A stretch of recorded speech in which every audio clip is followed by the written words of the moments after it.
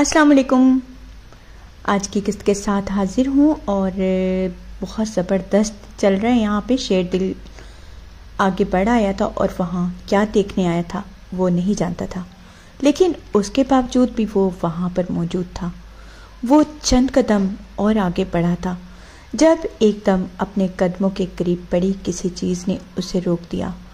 पहली बार खौफ की लहर उसे सुन कर गई थी। वो अक्स बन के मेरी चश्मे तर में रहता है। अजीब शख्स है, पानी के घर में रहता है। शहरबानों की आँख इंटरकॉम के मुसलसल बचने की आवाज़ पर खुली थी। आधी खुली हुई आँखों के साथ उसने सर को उठाकर देखा। उसके बराबर में मिसाल सो रही थी और शेर दिल का बिस्तर खाली था। बेडरूम टेबल लैंप ऑन था और टेबल पर पड़ा इंटरकॉम बज रहा था। खुमारी के आलम में उसने लेटे लेटे शेर दिल को आवाज़ दी। शेर दिल? शेर दिल? फिर अचानक उसे एहसास हुआ, वो बाथरूम में नहीं हो सकता। बाथरूम की लाइट ऑफ़ थी, कुछ उलझ कर उसने बाथरूम के दरवाजे को देखते हुए कोहनी के बल उठते हुए हाथ बढ़ाकर इंटरकॉम कर रिसीवर उठाया। हेलो। दूसरी तरफ़ से गेट पर मौजूद चौकी में तैनात सिक्योरिटी इंचार्ज था, मैडम सर से बात करवा दें। उसने शहरबानों की आवाज़ सुनते ही कहा, वो वो कमरे में नहीं है। अभी आते हैं तो बात करवाती हूँ। ऊपर वाले कमरे की लाइट ऑन की हुई है किसी ने। कोई वहाँ है। सिक्योरिटी इंचार्ज ने कुछ हड़बड़ाए हुए अंदाज में कहा कहाँ? वो नींद में उलझी थी ऊपर वाले बड़े कमरे में, मास्टर बेडरूम में। शहरबानों की नींद पहली बार उड़ी, जी। सर को बता दें और दरवाज़ा खोल दें। हम ऊपर जाकर चेक करते हैं। सिक्योरिटी इंचार्ज ने उससे कहा था, चंद लम्हों के लिए। शहरबानों की समझ में कुछ भी नहीं आया था। मैं थोड़ी देर में बताती हूँ। उसने इंटरकॉम रखते हुए कहा उसे एकदम ये एहसास हुआ था। सोफे पर पड़ी शॉल अपने गिरत लपेटते हुए नंगे पाँव बेडरूम से निकल आई थी। बाहर राहदारी की खिड़कियों से उसने सिक्योरिटी गार्ड देख लिए थे।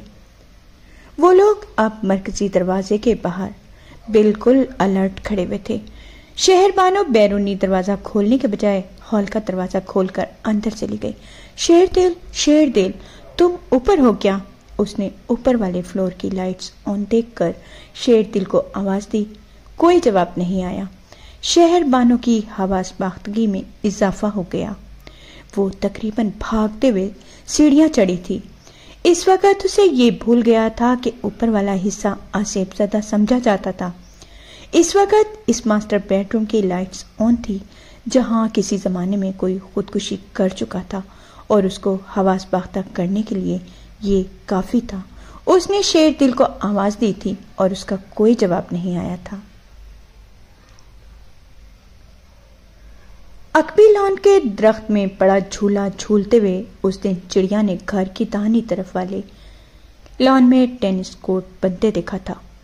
चंद आदमी बड़े जान फिशानी के आलम में घास की तराश खराश करने के बाद पिमाइशी टेप के साथ पिमाइश करते हुए सफ़ेद पेंट से ज़मीन पर लकीरों का एक जाल सा बना रहे थे।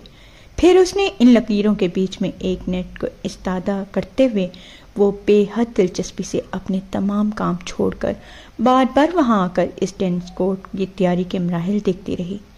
नए डिप्टी कमिश्नर और उसकी बीवी के आने के बाद इस घर में बहुत सी नई नई चीज़ें हो रही थी। किचन गार्डन में मकामी सब्जियों के अलावा चाइनीज़ सब्जियों की काश्त शुरू हो गई थी। लॉन की असर नो तजीन और राइश की गई थी। गुलाब की नई क्यारियाँ बनाई गई थी और सामने वाले लॉन में एक रोकरी का इजाफा भी कर दिया गया था। बच्चों के चंद झूले भी नस्ब किए गए थे। चिड़िया अंदाज़ा नहीं कर सकती थी कि इनमें कौन सा काम किसकी फरमाइश पर हो रहा था, लेकिन वो बेगम साहिबा को हर जगह मौजूद पा रही थी। टेनिस कोर्ट वो वाहिद जगह थी, जहाँ उसने साहब को बार बार आते देखा था। दो दिन में वो टेनिस कोर्ट तैयार हो गया था और तीसरे दिन, छुट्टी वाले दिन, उसने साहब और बेगम साहबा को इस टेनिस कोर्ट पे खेलते हुए देखा। चिड़िया मुस्मराइट हो गई थी। इसने ये खेल पहले किताबों में और टीवी की छलकियों में देखा था। आज पहली बार आँखों के सामने दिख रही थी। साहब और बेगम साहिबा के जाने के बाद लोन की इन तमाम क्यारियों में जा जाकर वो गेंद ढूंढती रही थी। जो साहब और उनकी बीवी के खेल के दौरान शॉर्ट के कोर्ट से बाहर जाने के बाद नहीं ढूंढ सके थे। उसे अच्छी तरह याद था कि डेढ़ घंटे के खेल के दौरान छह गेंदें थी जो गुम हुई थी और उसे जैसे किसी मशीन की तरह अजबर था। वो छह गेंद किन अतराफ में गई थी। पाँच गेंदें उसने बेहद आसानी से ढूंढ ली थी। छठी गेंद वो कंटा मंटा टोकू, टोफू टेंडू शंटू कंटू के साथ वो नहीं ढूंढ सकी थी। उसने वो पांचवी गेंद कोर्ट के बाहर रखी। कुर्सियों और मेज़ों के ऊपर रखती थी। उसके साथ के साथ दोस्त पोने मिलकर भी इस छठी गेंद को नहीं ढूंढ सके थे। उसे अगर साहब और उनकी बीवी से अपनी इस कारकिर्दगी के बदले में किसी दाद या सत्ताइश की तो थी तो वो उसे नहीं मिली थी। इन दोनों मियाँ बीवी ने अगले दिन वहाँ दोबारा टेनिस खेलते हुए शायद गौर ही नहीं किया था। टेनिस की वो गुमशुदा गेंद कौन? वहाँ मिस पर रख गया। लेकिन चिड़िया के लिए ये एक जैसे एक और नया दिलचस्प मशगला था। वो अपने क्वार्टर में पढ़ते हुए या कोई काम करते हुए शाम के औकात में टेन शॉट की आवाज़ सुनती और सब कुछ छोड़ छाड़ कर बाहर भाग जाती थी। फिर भी लोन के किसी दरख्त या पौधे के पीछे दबक कर वो साहब को अपनी बीवी या कभी कभार किसी दूसरे ऑफिसर्स के साथ टेनिस खेलता देखती रहती और साहब के जाने के बाद वो गेंद तलाश करती रहती। उसने कभी कोई गेंद घर लाने की कोशिश नहीं की थी। वो तमाम गेंदें ढूंढकर कभी उनके साथ थोड़ा बहुत खेल कर उन्हें वहीं मेज पर एक रूम में सजाकर चली जाती थी। खैरदीन ने ज़िंदगी में उसे बहुत सी चीज़ें सिखाई थी और इनमें से एक चीज़ ईमानदारी भी थी। वो अंग्रेज़ साहब और इनकी मेम साहब मेरे लिए पूरा घर खुला छोड़कर जाते थे। कई बार मैं साहब का वॉयलेट और मेम साहब की ज्वेलरी भी इधर उधर से उठाकर उन्हें देता था। वो चिड़िया को बड़े फखरिया अंदाज में बताया करते थे। तो साहब इसीलिए तो मुझ पर अंधा इतमाद करते थे। चिड़िया ने खैर दिन से दयानतदारी सीखी थी और कनात भी और मेहनत करना पाया था। एक बच्चे की मासूम फितरत और नासमझी के बावजूद उसने कभी डीसी हाउस में मौजूद इन चीज़ों को अपने क्वार्टर में ले जाने की कोशिश नहीं की थी, जो उसे फैसिनेट करती थी। और ऐसी ही एक फैसिनेट करने वाली चीज़ उसके लिए टेनिस रैकेट था, जिसको कभी छूने और उससे खेलने की शदीद ख्वाहिश रखने के बावजूद कभी बेगम साहब या साहब के रैक्स को हाथ नहीं लगा सकी थी। इनका खेल खत्म होते ही एक मुलाजिम दोनों रैकेट्स और गेंद का डब्बा उठाकर अंदर ले जाता था और चिड़िया बाहर, हर बार कुछ मायूसी होकर रह जाती थी। उसे इंतज़ार था किसी ऐसे दिन का जब साहब या मुलाजिम रैकेट उठाना भूल जाते, लेकिन वो दिन कभी भी नहीं आया। अलबत्ता अब तक एपिक आ गया था। चिड़िया ने सात बोने नहीं देखे थे, लेकिन उसने वो किस्मत देख ली थी। जिसे खैर दिन बहुत बड़ी शय कहता था, एपिक। उसकी ज़िंदगी का स्यातरीन और खूबसूरत तरीन बाप था। एबिक इस शेविल मिरर के सामने खड़ा अपना रैकेट घुमाते घुमाते रुक गया था। ये आईने में उभरने वाला एक अक्स था, जिसने उसे रोका था और वो ये नहीं जानता था कि वो सारी उम्र हर बार सामने आने पर इसी तरह उसे फ्रीज कर दिया करेगा। उसने चिड़िया को पहली बार इस आईने में देखा था, लेकिन वो ये नहीं जानता था। चिड़िया पिछले कई दिनों से उसे कई बार देख चुकी थी। टेनिस कोर्ट पर साहब के साथ टेनिस खेलते हुए, लॉन में साहब की बेटी और अपने बहन भाइयों के साथ खेलते हुए फ्रिस्बी पकड़ने में नाकामी पर अपने छोटे बहन भाई पर चलाते और खफा होते हुए वो साहब के घर आए हुए मेहमान थे और साहब के घर वीकेंड पर मेहमानों और उनके साथ उनके बच्चों का आना कोई अनोखी बात नहीं थी, मगर ये साहब के हाँ लंबी छुट्टियाँ गुजारने के लिए आए हुए थे। साहब के घर का सन्नाटा इन तीन बहन भाइयों की सरगर्मियों से टूटने लगा था, जिनमें से एक एबिक सबसे बड़ा था, आठ साल। वो बच्चा अपने कदो कामत से दस साल का लगता था। वो जब भी घर से बाहर नज़र आता, उसके हाथ में ज़्यादातर टेनिस रैकेट ही होता था, जिसे वो बेमकसद घुमाता। टेनिस शॉट्स की प्रैक्टिस करता रहता। कभी कभार उसकी छह साल बहन उसके साथ टेनिस खेलती, लेकिन वो किसी एतबार से एपिक का मुकाबला नहीं कर पाती थी। वो जिस्मानी तौर पर बहुत मज़बूत था, लड़का था। बहन से उम्र में दो साल बड़ा था और टेक्निक के एतबार से बहुत साउंड था। और पाँच साल की उम्र से टेनिस रैकेट उठाए हुए था। टेनिस जैसे उसका खानदानी खेल था। इनकी ननियाली और ददियाली फैमिली में कोई ऐसा नहीं था जो टेनिस ना खेलता हो। मगर इनमें से किसी भी टेनिस के लिए एपिक जैसा पेशन नहीं था। वो स्विमिंग करता था या फिर टेनिस खेलता था। इस घर में आने के एक हफ़्ते में ही चिड़िया ये जान चुकी थी। एबिक के आने के बाद साहब बाकायदगी से शाम के वक्त उनके साथ लॉन टेनिस में खेला करते थे। कभी कभार एपिक की मम्मी, बहन भाई और साहब की बीवी और बेटी भी वहाँ मौजूद होते थे। लेकिन आमतौर पर सिर्फ़ साहब और एपिक ही खेल रहे होते थे। साहब मुसलसल एपिक को हिदायत दे रहे होते थे। एपिक साहब से कभी जीत नहीं पाता था, लेकिन कभी कभार वो कोई अच्छा शॉट मार देता था और साहब, इस शॉट को मिस कर देते और तब कोर्ट में फातिहाना अंदाज में चिल्लाने वाला सिर्फ़ एपिक नहीं होता था। किसी पौधे या दरख्त के पीछे छुपी हुई चिड़िया भी इतनी ही मसरूर होती थी। और उसके साथ बोने भी। वो आठों उसके इस इत्तफाकी शॉट को भी इसी तरह सेलिब्रेट करते थे। जैसे वो एक पॉइंट नहीं, मैच जीत गया हो। एबिक चिड़िया को क्यों अच्छा लगा था? इस वक्त इसकी वजह सिर्फ़ ये थी कि वो आवे में थी। इस वक्त तक वो ये नहीं जानती थी कि वो इसका हम उम्र था। इसके लिए मुतासिर होने के लिए काफ़ी था। वो टेनिस खेलता था और बहुत अच्छी खेलता था। जब वो फ्रेजली फेंकता था तो कोई नौकर भी उसको नहीं पकड़ पाता था। वो इन तीन बच्चों का सरदार था। जो इस वक्त इस घर में थे।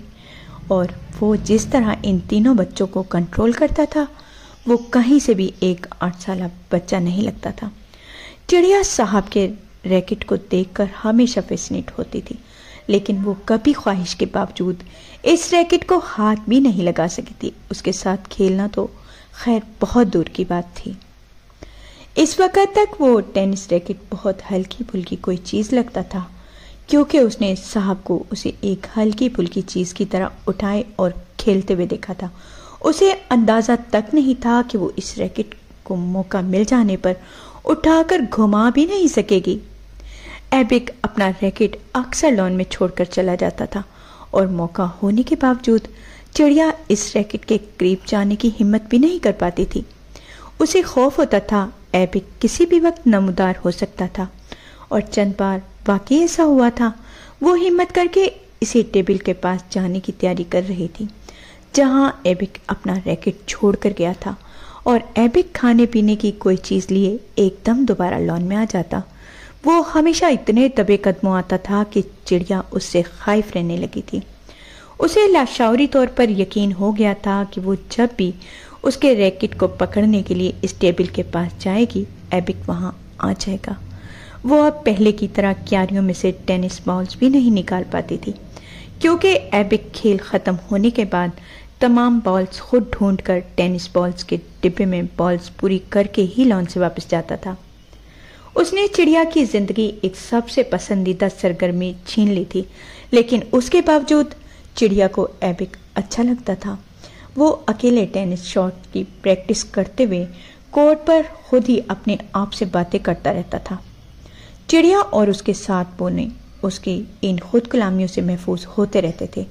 चिड़िया ने पहली बार अपने अलावा किसी दूसरे को खुद से गुफ्तगु का शौकीन पाया था। और एपिक के लिए उसकी पसंदीदगी में कुछ और इजाफा हो गया था। कभी कभार उसकी बातें सुनते हुए उसका दिल चाहता था कि वो इसकी बातों का जवाब दे और वो देती भी, लेकिन सरगोशी में अपने बोनों को। लेकिन एपिक की वो सारी बातें जलाहटें खुद कलामिया चिड़िया के लिए जैसे एक शानदार तफरी थी। वो उसकी वॉइस बिल्टी पढ़ा रहा था। एबिक के मुँह से सुनने वाला हर नया लफ्ज़ वो खैरदीन के सामने रख देती थी। और इनमें से ज़्यादातर लफ्ज़ खैरदीन के लिए भी नए थे। चिड़िया खैरदीन को ये नहीं बताती थी कि उसने वो लफ्ज़ कहाँ सुना था। लेकिन वो खैरदीन की ला इल्मी और कम इल्मी को किसी एतराज़ के बगैर ही कबूल कर लेती थी। बाज़ दफ़ा एपिक को अपने बहन भाइयों या अकेले खेलते हुए देखकर चिड़िया का बेतहाशा दिल चाहता था कि वो खुद भी उसके साथ जाकर खेलने लगे। एपिक की उछाली हुई हवा में उड़ती हुई इस फ्रिस्बी को जैसे कोई पकड़ना नहीं चाहता, पकड़ नहीं पाता था, वो पकड़ ले। एपिक की टेनिस सेव को वो दूसरे कोर्ट से इतनी ही ताकत के साथ रिटर्न करे जिस कुआ से वो फेंकी गई थी। और उसे यकीन था कि वो ऐसा कर सकती है। एक बच्चे की मासूमियत और खुशफहमी उसे ये बता नहीं पा रही थी। खेल खेलने और अच्छा खेलने के लिए सिर्फ़ ख्वाहिश और मौका नहीं स्किल्स की भी ज़रूरत होती है। टेनिस का वो रैकेट जिसे एपिक बड़ी आसानी से घुमाता और हिलाता नज़र आता था, उसके पीछे स्किल नहीं, विल थी। उसके तीन सालों का तजर्बा था। फ्रिस्बी को वो डिस्क थी, जो हवा में तैरती किसी के हाथ नहीं आती थी। वो उसके हाथ से भी इसी तरह छूट कर गिरती, जिस तरह दूसरों के हाथों से। लेकिन बच्चे आधी ज़िंदगी और आधी ख्वाहिशात, ख्वाबों। ख्वाबों और फैंसी में पूरी करते हैं। ना नेपोलियन की डिक्शनरी में नामुमकिन का लफ्ज़ था, ना उसकी ज़िंदगी में होता है। और चिड़िया के साथ तो सात बोने भी थे। नाना, जब भी बड़ी हो जाऊँगी तो मैं टेनिस की प्लेयर बनूँगी। एबी के आने के चंद दिनों के बाद एक दिन चिड़िया ने खैरदीन से रैकेट की फरमाइश करते हुए उसे अपने कैरियर में तब्दीली का अंदिया दिया था। नहीं बेटा, लड़कियाँ टेनिस नहीं खेलती, खैरदीन ने उसे फ़ौरन टोका। टीवी पर तो खेलती हैं। चिड़िया ने पीटीवी पर देखे जाने वाले किसी मैच और टूर्नामेंट की उसे याद दिलाई थी। हाँ पर वो तो अंग्रेज़ों के मुल्क में होता है और अंग्रेज़ औरतें खेलती हैं। खैरदीन ने जवाब देते हुए साहब की बीवी और अब एपक की मम्मी को भूल गया था। चिड़िया नहीं। उसने खैरदीन को याद दिलाने में देर नहीं की थी। बेटा, वो साहब लोग हैं। वो खेल सकते हैं, हम नहीं खेल सकते। खैरदीन ने बे इख्तियार गहरी सांस लेते हुए उससे कहा, चिड़िया को अब बार बार साहब और अपनी क्लास का फ़र्क समझाना और बताना खैरदीन को बड़ा मुश्किल लगता था, ख़ास तौर पर इसलिए क्योंकि सारी उम्र वो चिड़िया के सामने एक बड़ा आदमी बना रहा था और अब इस बड़े आदमी को इस बच्ची के सामने ये खोल उतारना पड़ रहा था और ये आसान नहीं था, मगर उसके अलावा कोई चारा भी तो नहीं था। वो उसे अपनी इस्तात से बढ़कर खिला पिला रहा था। उसे इंग्लिश मीडियम स्कूल भी भेज रहा था। इस इंग्लिश मीडियम स्कूल में जहाँ इस जैसे आदमी अपनी औलाद को भेजने के सिर्फ़ ख्वाब ही देख सकते हैं, लेकिन उसके बावजूद वो चिड़िया के पाँव ज़मीन पर ही रखना चाहता था। उसको प्रवास से रोकना चाहता था। बहुत सारे काम साहब लोग कर सकते हैं, लेकिन हम नहीं। चिड़िया को इस फिलासफी की समझ नहीं आई थी। लेकिन ये एक जुमला उसने किसी तोते की तरह अपने सिस्टम में बगैर बहस के फ़ीड किया था। खैरदीन ने उसे कैरियर बदलने की इजाज़त तो नहीं दी थी, लेकिन अगले दिन उसको एक रैकेट ला दिया था। वो बैडमिंटन रैकेट था। लकड़ी का एक मामूली सा कम कीमत।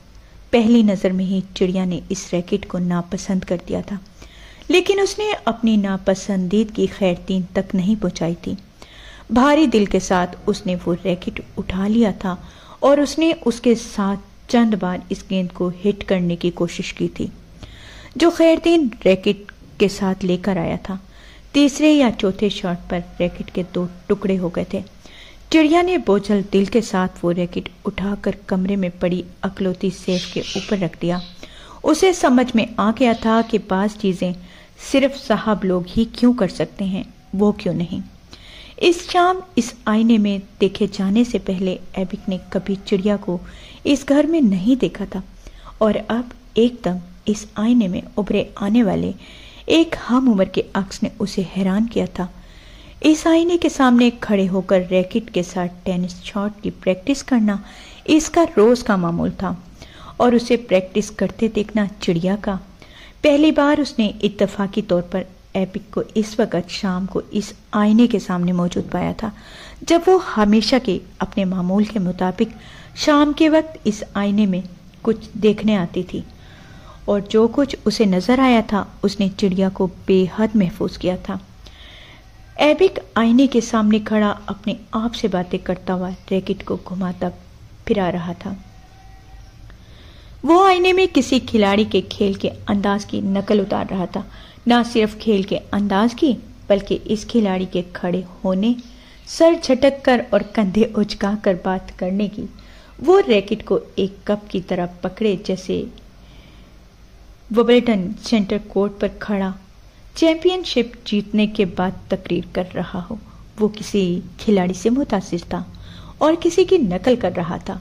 चिड़िया को कुछ अंदाज़ा नहीं था, लेकिन एबिक के इस चार मिनट के स्किट या रोल प्ले को देखते हुए उसे अपनी हँसी पर काबू पाना मुश्किल हो गया था और एबिक को अगर ये पता चल जाता कि इसकी वो विनर्स स्पीच किसी को इसी तरह गुदगुदा रही थी तो वो शर्म से ही डूब कर मर जाता।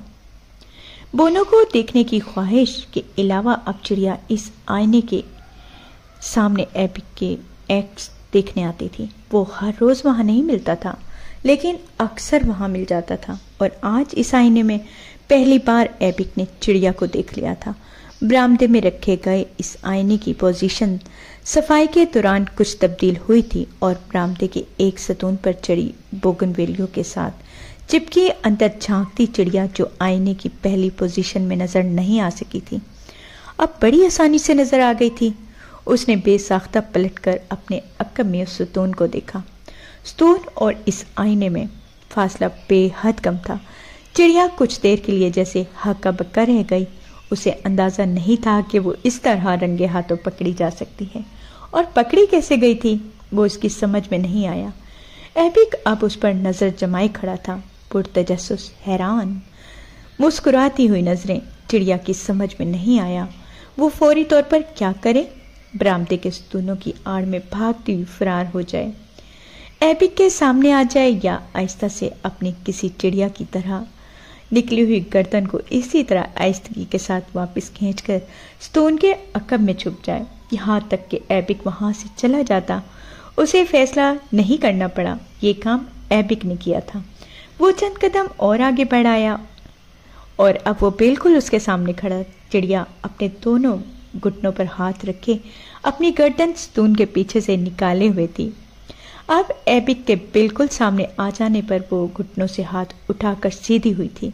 उसका चेहरा सुरख हो रहा था, शर्मिंदगी से। शर्मिंदगी थी और कंटा मंटा मिनटों में कहीं गायब हो गए थे। हाथ थी वैसे ये भी, हेलो? एबिक ने दोस्ताना अंदाज में उसको मुखातिब करने में पहल की और चिड़िया को उससे हेलो सुनने की तो भी नहीं थी। एक लम्हे के लिए उसने हैरान होकर एपिक को देखा। फिर उसने जवाबन हेलो कहा। भागने का इरादा। उसने फिलफोर टाइप कर दिया, तुम कौन हो? एपिक ने फ़ौरन उसे पेशतर कहा था, चिड़िया के हुलिये से यह तय करना मुश्किल था कि वो किसी नौकर की बेटी हो सकती है और किसी मुलाजिम के बच्चे में एबिक दिलचस्पी नहीं ले सकता था। ये इसके पेरेंट्स की हिदायत थी। इसके पेरेंट्स मुलाजमीन को ही फासले पर रखते थे। तो इनकी फैमिली को अपनी फैमिली से फासले पर रखने में यकीन रखते थे और एबिक इसी तरह की वैल्यूज़ के साथ परवान चढ़ा था चिड़िया की समझ में नहीं आया कि वो अपना तारुफ कैसे करवाए। मेरे नाना कुक हैं। चंद लम्हे उलझ कर उसने बिलाखिर कहा, ओह, खैर दिन एबिक ने बेसाख्ता कहा, चिड़िया को उसके मुँह से यूँ अपने नाना का नाम अच्छा नहीं लगा था। खैर दिन को दूसरे मुलाजमीन चाचा कहते थे और अफसर नाम से पुकारते थे, लेकिन उसने आज तक किसी बच्चे को खैरदीन का नाम लेते नहीं सुना था। चाचा खैरदीन, उसने जैसे बुरा मनाकर एपिक को जिताने वाले अंदाज में बताया। एबिक ने उसकी खफगी नोटिस नहीं की थी। चिड़िया में इसकी दिलचस्पी फौरी तौर पर कम हुई थी। तुम यहाँ क्या कर रही हो? एबिक ने रैकेट घुमाते हुए उससे पूछा, वो वहाँ क्या कर रही थी? ये तो चिड़िया एबिक को मरकर भी नहीं बता सकती थी। वो खामोश नज़रों से उसे देखती रही। मैंने कुछ पूछा है, एबिक ने उसे डांटा। मैं ये मिरर देखने आई थी। चिड़िया बेसाख्ता, चिड़िया ने कहा था। एबिक ने हैरानी से पलटकर मिरर को देखा। क्यों? ये पसंद है मुझे। जवाब सादा था, लेकिन एबिक फिर भी हैरान हुआ था। क्या करती हो तुम? तो? एबिक ने जवाबन उससे पूछा। पढ़ती हूँ। किस क्लास में? फोर्थ में। किस स्कूल में? और स्कूल के नाम पर एपिक को चंद लम्हों के लिए कुछ सोचने पर मजबूर किया था। नौकरों के बच्चे कनाउंट में पढ़ते थे और चिड़िया पढ़ रही थी। इसकी अपनी बहन भी एक कनॉन्ट स्कूल में थी। एक बच्चा होने के बावजूद एक अच्छे और बुरे स्कूल का फ़र्क जानता था। उर्दू मीडियम और इंग्लिश मीडियम की तफरीक और रेटिंग से बखूबी वाकिफ था। मैं भी फोर्थ में हूँ। इचिसन में। इसने अब अपने बारे में चिड़िया को बताया ओह चिड़िया हैरान हुई। ऐसा नहीं लगता था कि वो भी क्लास फोर्थ का स्टूडेंट होगा। और उसने ये कहने में तामुल भी नहीं किया। एबिक पहले खज्जल हुआ, फिर ब्लश। कितना बड़ा लगता हूँ मैं? उसने जैसे अपने खदशे को जुटाने के लिए चिड़िया से पूछा था। पता नहीं, लेकिन तुम मुझसे बड़े लगते हो। फिफ्थ या सिक्स स्टैंडर्ड में। चिड़िया ने उसे होर से दिखते हुए कहा that's because I a boy epic ने अपनी खपत मिटाने की कोशिश में बड़ी रुखाई से कहा। वो अब चिड़िया को मुकम्मल तौर पर नज़रअंदाज करते हुए पलट कर दोबारा आईने के सामने जाकर अपने टेनिस शॉट की प्रैक्टिस करने लगा था। चिड़िया को मुकम्मल तौर पर नज़रअंदाज करते हुए, लेकिन उसकी मौजूदगी से पूरी तरह बाखबर चिड़िया दोनों हाथ पुष्ट के पीछे बांधे सतून से टेक लगाकर खड़ी होकर उसे देखने लगी। अब छुपने की ज़रूरत नहीं रही थी और क्या तमानियत महसूस की थी उसने।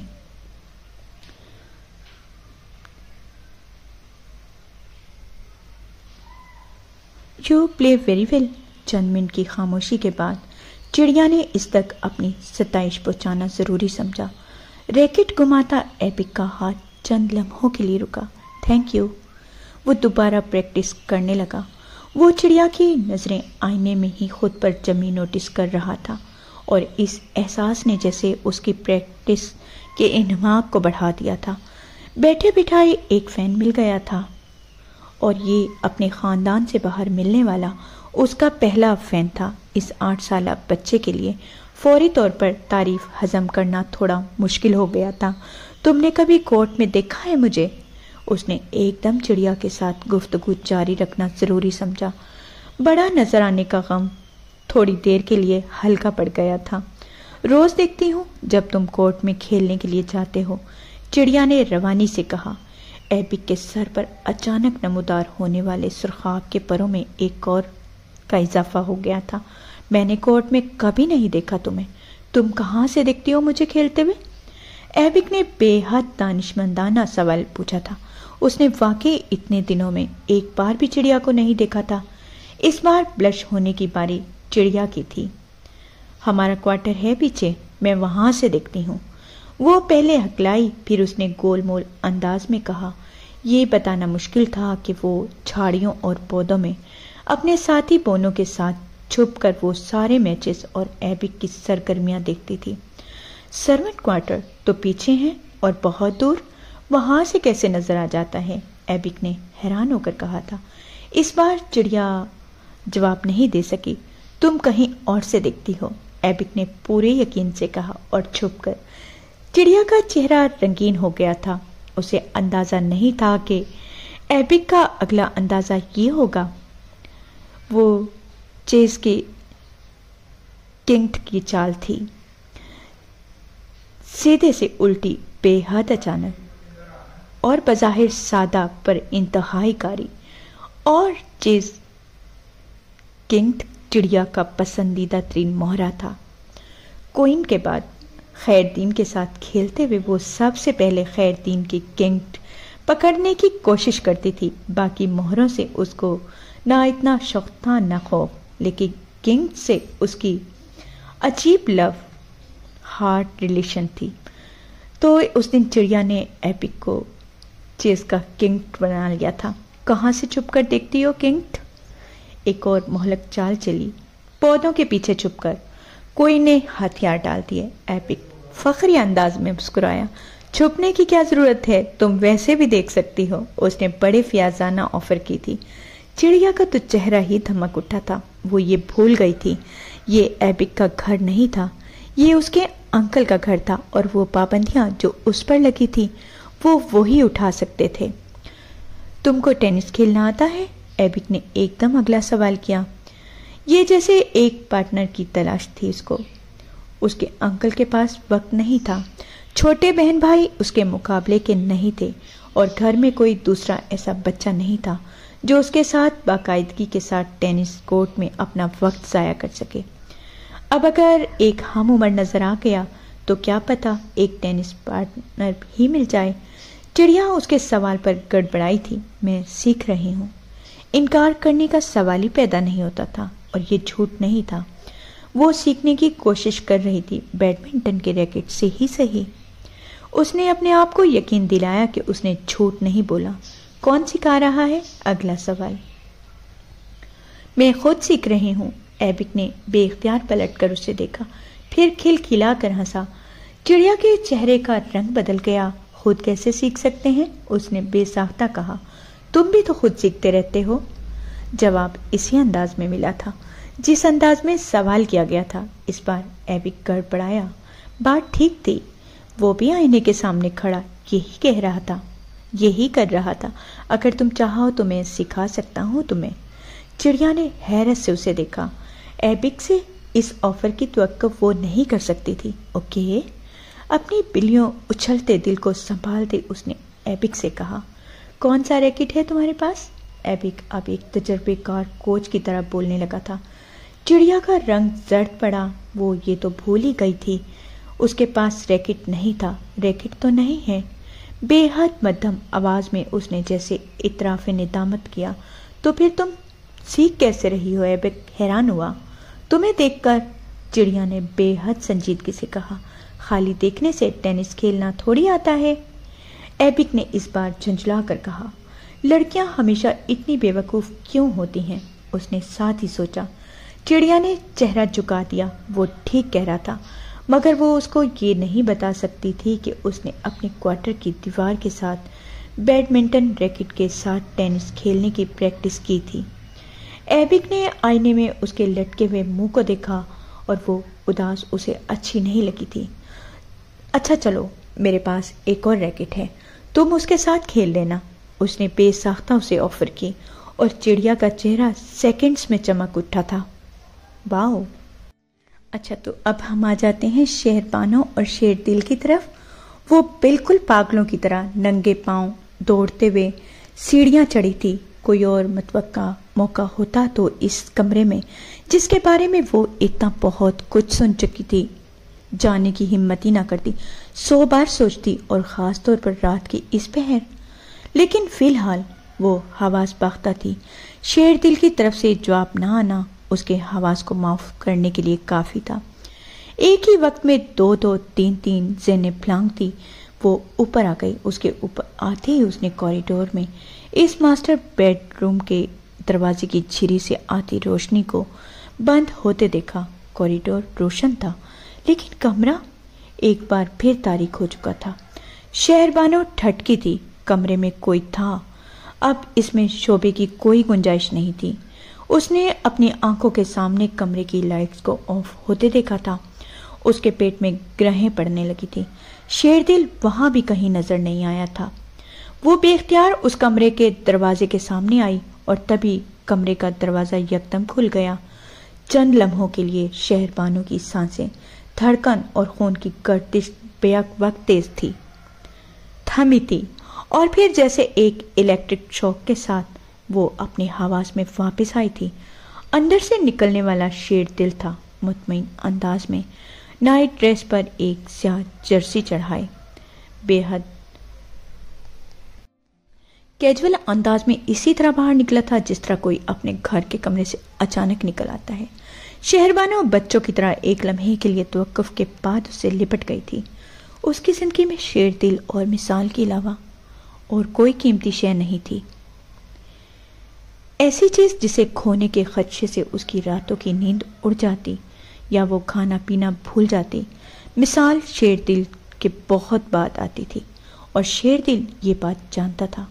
शेरबानों के कहे बगैर, जिताए बगैर शेर दिल ने उसके गिर्द अपने बाजू लपेटते हुए किसी बड़े की तरह उसकी पुश्त को तसली देने वाले अंदाज में नरमी से रगड़ा। तुम फिर बेड से गिरी हो? शेर दिल उसके इस तरह उठ के आ जाने की वजह यही समझा था। उसके सीने में सर छुपाए शहर पानो उसको ये नहीं बता सकी। चंद मिनटों में वो खदशात के कितने जंगल पार कर आई थी। तुम यहाँ क्यों आए हो? तुमने वादा किया था इस कमरे को बंद रखने का। उसकी पुष्ट पर उसकी जर्सी को दोनों मुठियों में भेंचे सर उठाए बगैर उसे बेहद खफगी के आलम में अपनी सांस को बहाल करने की कोशिश में थी। काम था शेर दिल ने बेहद गोलमोल अंदाज में उसके सर को चूमते हुए उसे खुद से अलग किया। वो अब पलट कर इस दरवाजे के बाहर लगे हुए बोल्ट को चिड़ाकर ताला बंद कर रहा था। मुझे ऑपरेटर ने जगाया है। इस कमरे में लाइट देखकर इंटरकॉम कर रहे थे वो तुम्हें। शहरबानों ने उसे इतला दी, ओह, मुझे ख्याल ही नहीं रहा कि ऊपर वाले फ्लोर पर अचानक लाइट्स देखकर शेर दिल बात करते करते रुक गया। वो शहरबानों को उसकी नींद के दौरान होने वाले किसी वाक्य के बारे में कोई क्लियर नहीं देना चाहता था। ऐसी किसी सिचुएशन में तुम्हें गार्ड्स को बुलाकर उसे ऊपर भेजना चाहिए था। तुम बेवकूफ़ों की तरह खुद ऊपर आ गई। उसके साथ सीढ़ियाँ उतरते हुए शेर दिल ने उसे डांटा था, लेकिन तुम ऊपर क्यों आए हो?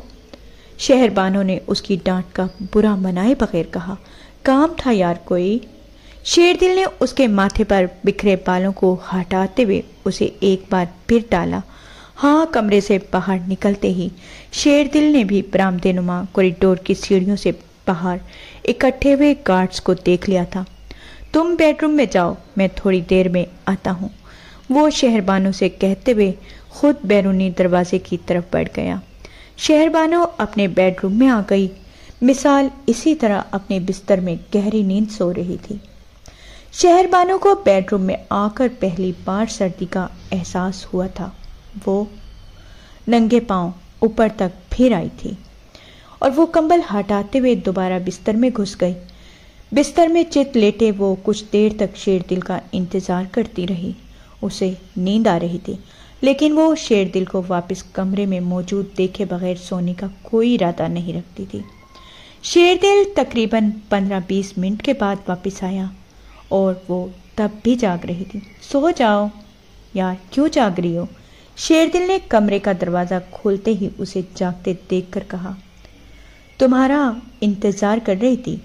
शहरबानों ने कुछ मुतमिन अंदाज में जमाही लेते हुए कहा, मैं वापस आ गया हूँ, तुम सो जाओ। शेरदिल ने उसे तसल्ली देने वाले अंदाज में कहा, वो अब साइड टेबल पर पड़ा, अपना लाइटर और सिगरेट पैक उठा रहा था। शहरबानो आँखें बंद किए चंद लम्हे, जैसे उसके बिस्तर पर लेटने का इंतज़ार करती रही। लेकिन फिर उसने आँखें खोल दी, वो बेड साइड टेबल लैंप को ऑफ़ कर रहा था, लेकिन बिस्तर में नहीं था। तुम कहाँ जा रहे हो अब? शहरबानों ने कुछ हड़बड़ा कर कहा था। मैं मिसाल के बेडरूम में हूँ। एक दो सिगरेट पीकर वापस आ जाऊँगा। शेरदिल ने धीमी आवाज़ में उससे कहा और बराबर वाले कमरे के दरवाजे की तरफ़ बढ़ गया। शहरबानों ने कुछ उलझ कर कमरे की नीम तारीकी में उसके खयोले को बराबर वाले कमरे में गायब होते देखा। वो क्यों सो नहीं पा रहा था? वो समझ नहीं पाई थी और आधी रात को किस काम से ऊपर वाली मंजिल पर गया था, वो उससे भी पूछ नहीं पाई थी। वो बहुत देर तक आँखें खुली नहीं रख पाई थी। बराबर वाले कमरे में शेर दिल बैठा, एक के बाद एक सिगरेट पी रहा था। बहुत ज़्यादा थकन होने के बावजूद नींद आप ही उससे कोसों दूर थी और जो कुछ वो ऊपर वाले बेडरूम में देख आया था, उसके बाद उसे नींद आ भी नहीं सकती थी। वो घर किसी ना किसी हद तक हॉन्टेड था। उसे अब इसमें कोई शोभा नहीं रहा था, लेकिन वो सिर्फ़ ये जानना चाहता था, ये असरात किस हद तक हैं? वो क्या उससे उसकी फैमिली के मुतासर होने के इम्कान थे? किसी आसेबजदा घर में अपनी बीवी और कमसिन बेटी को रात के वक्त अकेले छोड़ने का वो तस्वर भी नहीं कर सकता था।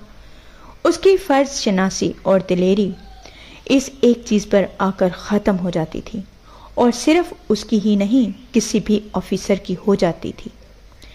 वो ये नहीं कर सकता था कि शाम होते ही हर रोज़ घर भाग कर आता और कई बार वो चंद दिनों के लिए किसी ना किसी काम से घर से गैर हाजिर भी होता। वो इस गैर हाजिरी के दौरान अपनी फैमिली को लाहौर अपने पेरेंट्स के पास भी भिजवा सकता था। लेकिन वो रोज़मर्रा अमूर की अंजाम दही के दौरान होने वाली तखिर का कुछ नहीं कर सकता था, लेकिन अब सवाल ये था कि वो करे क्या? उसका सर बुरी तरह चकराया हुआ था।